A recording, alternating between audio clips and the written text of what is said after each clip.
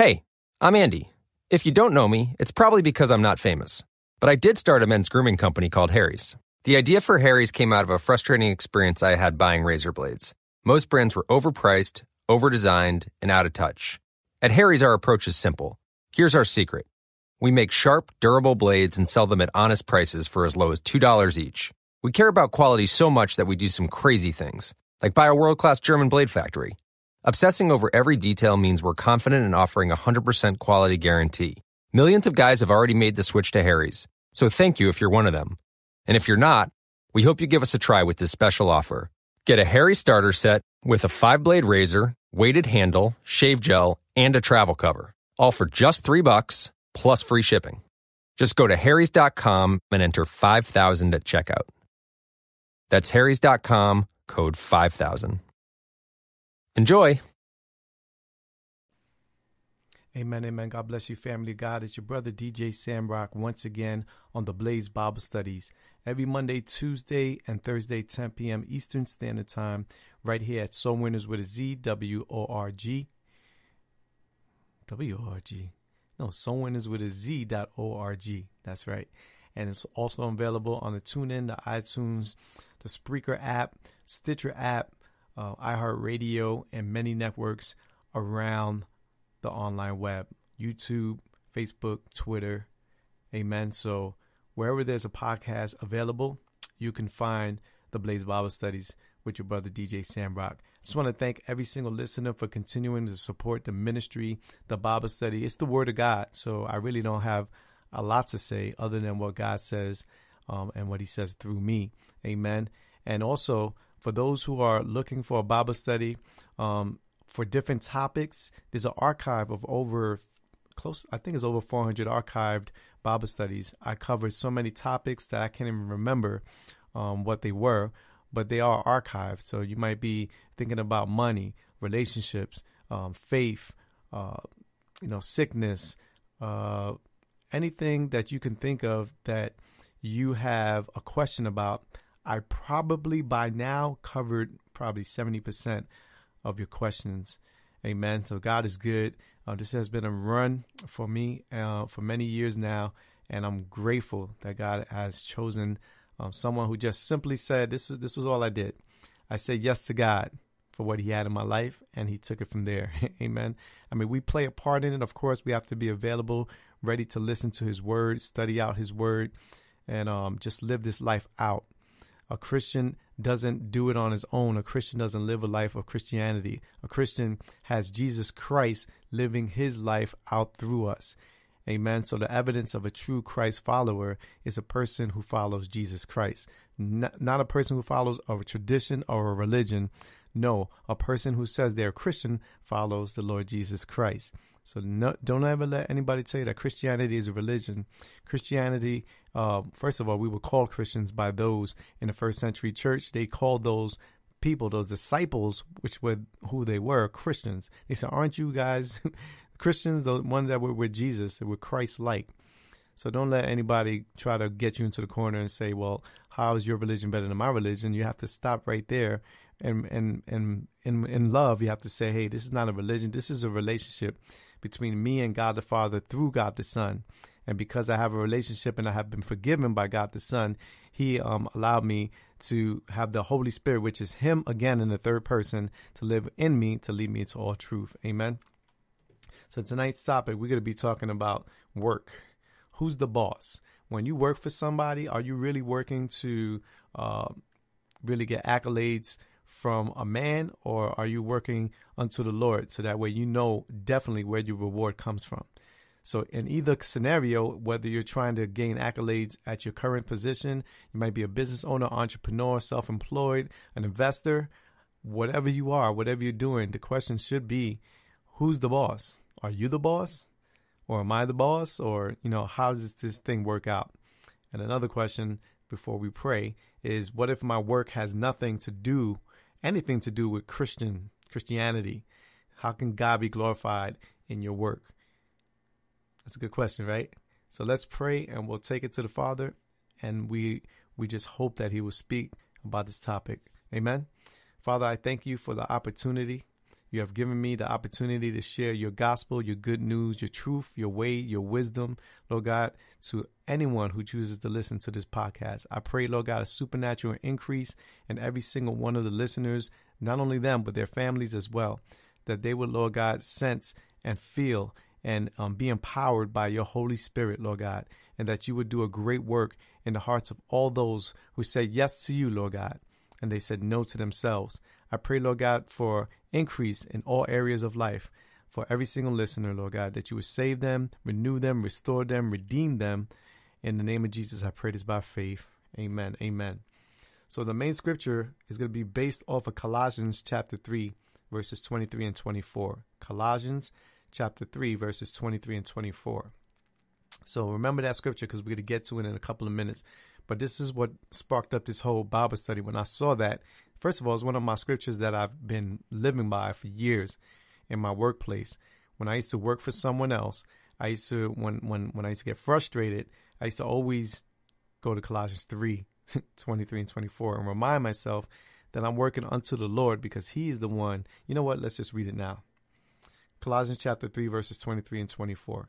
Work willingly at whatever you do, willingly at whatever you do, as though you were working for the Lord rather than for people.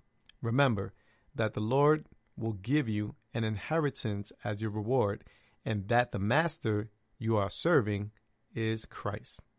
So I would really remind myself about this scripture when I would get frustrated, when things weren't going my way, when the money wasn't there. Colossians 3 23 and 24. And it really took me through. I've been working for someone else since I was 13 all the way till last year um, a long time. so uh, I finally took the step of faith, started walking on water, and started doing my own business that I already had going on in the background, but I took it um, to the level of actually doing it um, all the time now. Amen. Every day is Friday. That's my my um, my theme now. So so I took the opportunity that God gave me. Amen. This is a, a grace thing. This is a faith thing. This is all about you know, if God told you to do it, you do it type thing. So uh, it was nerve wracking, yes, of course. But now, all the time, and all the years I saw the scripture and I recited the scripture, I memorized the scripture. Now I'm truly working for the Lord because I know that my reward, my inheritance comes from Jesus Christ. So all along, God was preparing me. Although I think in my own life, in my own experience, I think He had told me what to do years ago. I heard his voice and I just procrastinated. I was afraid to take the step full time ministry, you know, and work on my own and have my own business. Um, but thank God for his grace that he allowed me 12 years later to do what he said to do 12 years ago.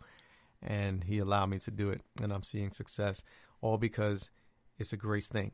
Amen. God is no respecter of persons. You know, he could do it for me. He could do it for you. He could do it for anyone he chooses. Amen. But when you find a promise in God, when you find a word that sticks out to you, memorize it, keep it, own it, personalize it, keep it for yourself, and say it to everyone, right? So, who's the boss? First of all, if you look at the history behind work, because God created us, right? In the image of God, we are created, right? Genesis chapter 2, very in the very beginning stages, right? Genesis chapter 2, verses 2 to 9 uh, says it like this Genesis chapter 2 and verses 2 to 9. Where am I? Where am I? On the seventh day, having finished his task, God rested from all his work. And God blessed the seventh day and declared it holy, because it was the day when he rested from his work of creation. It doesn't mean that God was tired, by the way. It means that he did everything, he saw it was good, and took a day off rested. This is the account of the creation of the heavens and the earth. Right? So, Genesis chapter 2, we could see that God worked. He worked it out, spoke everything into existence, amen, and watched his work created. When the Lord God made the heavens and the earth, there were no plants or grain growing on the earth, for the Lord God had not sent any rain, and no one was there to cultivate the soil. So you see, the earth was created uh, for us to cultivate, to work it, right? But nobody was there yet. Verse 6 But water came up of the ground and watered all the land. And the Lord God formed a man's body from the dust of the ground and breathed, Elohim breathed into the breath of life, and the man became a living person. You know, this is God's work. Then the Lord God planted a garden in Eden in the east. So God did all that work. There's water coming up from the ground, and here's the man in a garden that is fully functional already. Okay, just want to let you know that. Verse 8 Then the Lord God planted a garden in Eden in the east, and there he placed the man he had created. Verse 9 And the Lord God planted all sorts of trees in the garden, beautiful trees that produced delicious fruit. At the center of the garden, he placed the tree of life and the tree of the knowledge of good and evil. Now let's skip to verse 15. Stay in Genesis chapter 2. Go to verse 15. The Bible says, uh, 14, 15. The Lord God placed the man in the Garden of Eden to tend and care for it. So that was our work. Our, our work is anchored in God's very character. Part of being made in his image is sharing the industrious and creative aspects of his nature. We were here to till the land that was already there. God created everything we see, everything we don't see, the heavens and earth, put man right on board, planted the trees, everything, and all Adam, the first man, had to do was tend the garden. And if you keep on reading, that was beautiful. Chapter one, beautiful. Chapter two, beautiful. The whole whole Bible is beautiful, but there's some disappointments that we we did that God fixed up too as well. In chapter three, then you get the fall of man. But you see, our work is anchored in God's very character. Work is not a curse. To work is not a curse, right? Because you actually get blessed when you work hard. You know, hopefully, um, if you work for somebody, hopefully your boss is fair in your pay, your wages, and your benefits, and things like that. But when you keep everything in perspective, and you know where how work and where work came from, what was it designed for, you would see that God's um, our anchor. God's the boss. Second Thessalonians chapter three. Second Thessalonians chapter three, verses six to thirteen. And now, my dear brothers and sisters, we give you this command with the authority of our Lord Jesus Christ. Stay away from any Christian who lives in idleness. That means like couch potatoes, gamers that stay gaming all the time and never go to work. Stay away from any Christian who lives in idleness and doesn't follow the tradition, or here it is, of hard work we gave you. For you know that you ought to follow our example. We were never lazy when we were with you. We never accepted food from anyone without paying for it. So, therefore, if the disciples were paying for food, that means that they were working to get paid. And as a matter of fact, they said they worked hard and they used in that as an example.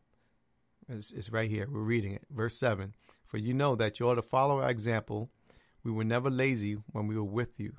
We never accepted food from anyone without paying for it.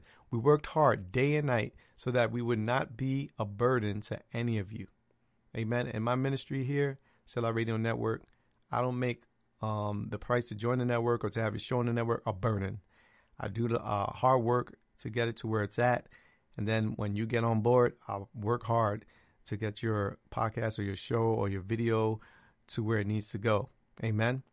So I don't make it a burden. I work hard day and night, right, to get things ready for those who come on board. Radio Network should be rest assured that I'm working hard to get their um, ministry or their radio show or their podcast or their video blog to where it needs to go.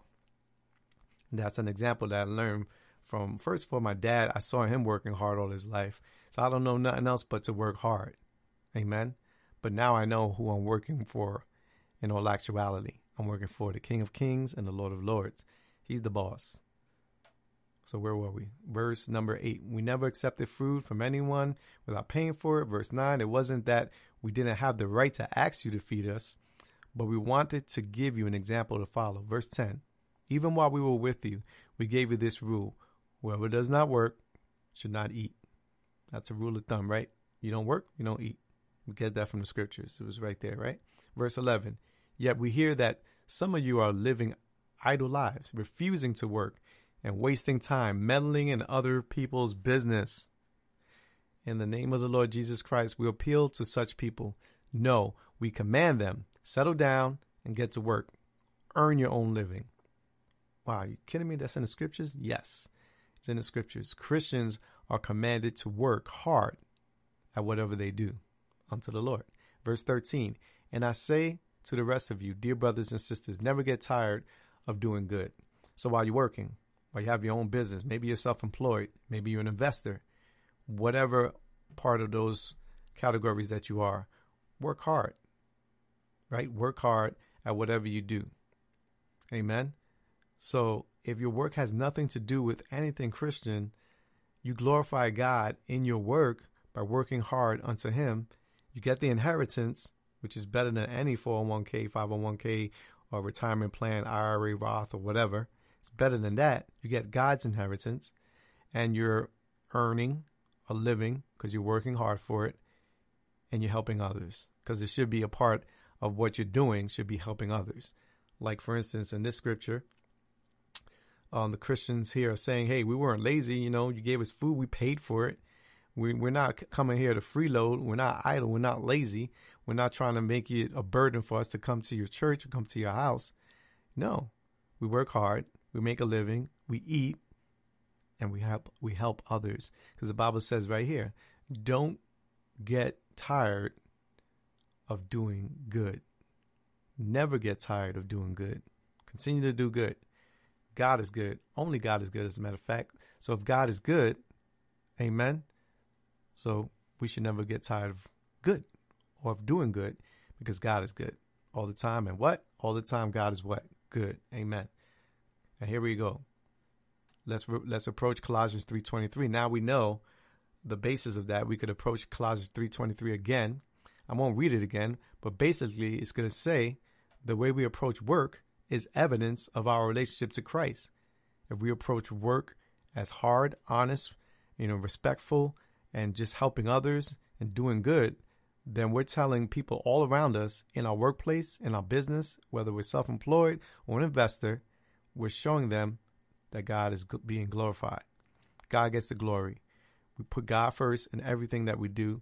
We don't make our ministry an idol. We don't make our job an idol. We don't make money an idol. No, we put God where He is on the throne, right? He is already there. We don't put Him there. He's there, but we recognize where He is. We recognize who's the boss. So that way, everything that we do, amen, will be a blessing to not only us, but to others. See, I love, I love being a, a business owner, investor, and entrepreneur, self employed. I love it because it gives me the opportunity to help others. It gives me the time to do this ministry. It gives me the opportunity to see my family grow, my daughter grow, to see it gives me time to travel now. It gives me time during the day to do those things that I could not do because I was constricted of time. I was it was time was taken away um, literally for me. I couldn't do all the things that I needed to get done during the day because I was obligated to do something for someone else that yeah benefited my family, but then it, it discredited um, some other things. So working to the Lord because He will make the way, He will provide. Amen. But we have to do our part. So even if it has nothing to do with um, Christian work, or if if you work outside of the church, or it's not a ministry, we can show people that God can be glorified through the work, our work ethic, how we work hard, honestly, help others, and we never get tired of doing good. Hope you're getting this because this is good. Can we work too hard? I think I think so. It depends on where our aim is. We're called to work hard, but we got to make sure that our work doesn't um, preoccupy us, that we endanger our health, our relationships, or our time with God. You know, my shoulder, and all the time that I was working for the last company I worked for, my shoulder started giving up, my knees started giving up, and then my back, you know, every now and then will stiffen up, tighten up. Yes, because of age um, um, and re- repetitive, repetitive lifting and all that stuff. I understand that's part of the situation, but in my mindset, I was like, no, I'm not going to give this organization, this corporation, my my knee. I'm not going to give them my shoulder. I'm not going to give them my back. No, that all belongs to the Lord. I'm giving my body as a living sacrifice unto the Lord, and then I will read Colossians 3:23 and 24 to remind myself, hey, if this is the the situation and um, now my body's starting to reject the things that I'm doing at this place, it's the door is opening for me to go. You know, no um, hard feelings or anything like that. It's just a matter of using of being wise and using wisdom, right? In Psalm 39 verses 6 and 7, the Bible says, "We are merely moving shadows, and all our busy rushing ends in nothing. We heap up wealth for someone else to spend." Isn't that crazy? So I get I, I jokingly say, and I say I'm jokingly say, and this is how I say it. I say I work and my wife gets paid. It's a joke. You know what I'm saying? It's all good because I know um, that that's what I should be doing. I'm doing my part. But isn't that funny that you heap up wealth and someone else spends it, right? And verse 7 And so, and so, Lord, where do I put my hope? My only hope is in you. Rescue me from my rebellion, for even fools mock me when I rebel. Ecclesiastes chapter 5, verse 3.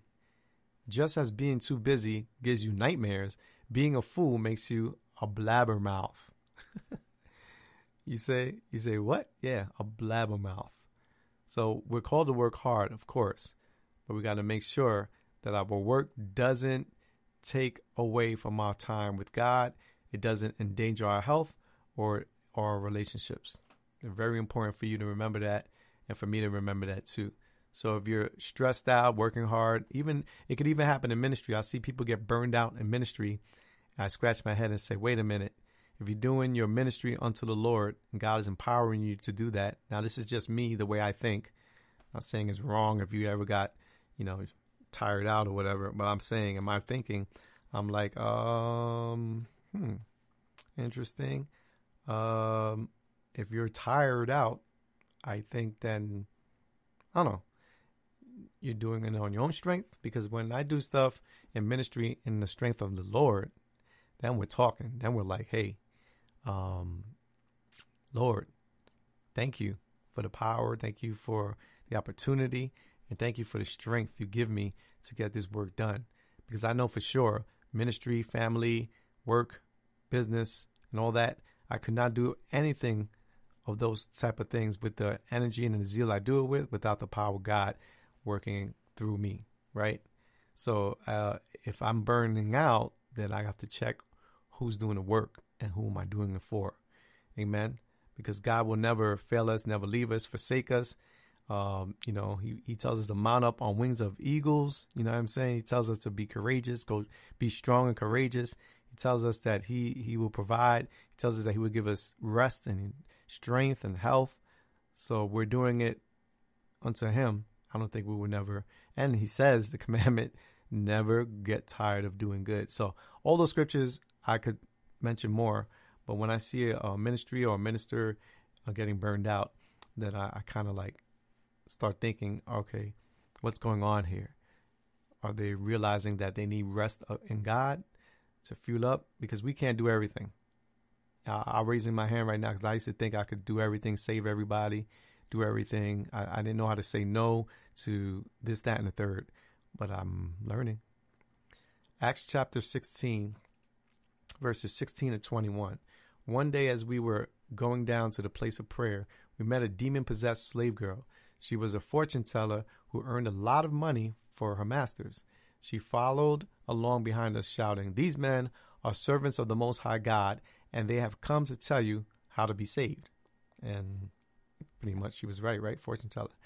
This went on day after day until Paul got so exasperated, in other words, Paul got mad, that he turned and spoke to the demon within her. Notice he didn't speak to the lady, he spoke to the demon within her. I command you in the name of Jesus Christ to come out of her, he said, and instantly, hear that snap? Instantly it left her. Jesus Christ power. Verse 19 Her master's hopes of wealth were now shattered, so they grabbed Paul and Silas and dragged them before the authorities at the marketplace. The whole city is in an uproar because of these Jews, they shouted. They are teaching the people to do things that are against Roman customs. Ooh, sounds familiar? That's happening right now in the 21st, what was 21st century? Yeah, in, in these times. but, um, hmm, there's a time to stop we must make sure that we don't allow our work to compromise our values. So if somebody is telling you to do something at the workplace or maybe um, to do something on your website that is not really honest or deceptive, or maybe um, you know you know about a scam and you're gonna pass it through too because you know that scam makes a lot of money. Got to make sure that we don't allow those type of things to compromise our values. Amen. Don't let that happen because once that happens, then you're on your own again. Because God, I, I love God. He deals with honesty. I'm honestly, I honestly go to God and say, I can't do this. I'm struggling in this, and and He's right there, guiding me and guarding me, and showing me grace, love, and mercy. It's crazy. But if I start, there's so many scams I could do, so many gimmicks I could do with my network, with my businesses. Is is unreal. I see it happen to people, and I warn people, hey, if you see a scam or a scandal, uh, or if I see one, I'm going to warn people about it. Um, but I see people fall into the same trap over and over again uh, false promises and all that stuff, especially in the music industry, which I dabble in as well.